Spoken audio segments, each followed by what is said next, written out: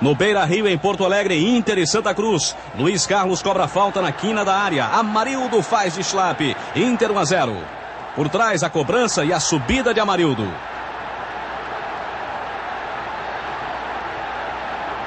Norberto avança pela direita. Olha só o Norberto. Aí ele cruza. A bola passa por Eider e vai a Paulo Matos. Inter 2 a 0. Vamos ver agora, por trás, o gol de Paulo Matos, o segundo do Internacional. Agora, olha, não se atrapalhe não, parece igual ao outro, mas não é não, hein? Eider rola na área, Amarildo outra vez está lá para fazer. 3 a 0 Inter. Você viu por trás a rolada de bola do Eider e fácil a entrada de Amarildo. Aldo toca para Amarildo, Amarildo pega, estica e puxa e chuta. E a... acontece o gol, a festa do gol. Aí de novo o gol de Amarildo, terceiro dele, final. Internacional 4, Santa Cruz 0 tudo em nome da alegria. Olha só.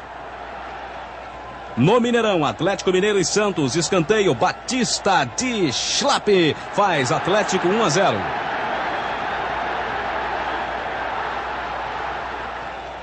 Marquinhos toca para Sérgio Araújo e ele é derrubado na área. Veja só, pênalti.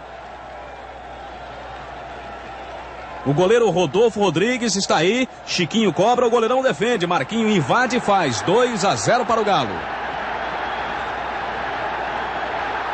Agora Sérgio Araújo outra vez, cruzando para Marquinhos. Aquele que era do Flamengo, lembra? Pois é, ele entra de cabeça para fazer Atlético Mineiro 3 a 0 em cima do Santos.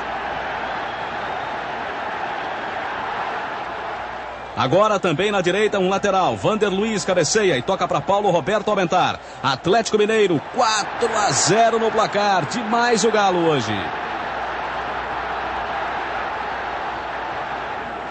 Atenção para a cobrança de falta por Mendonça para o Santos. A bola vai. Olha só. Nildo recebe e cruza. A bola toca no poste, sobra para Mendonça entrar de cabeça. Atlético 4, Santos 1 no placar. Outra vez o Galo, Chiquinho pintando pela direita, avançando.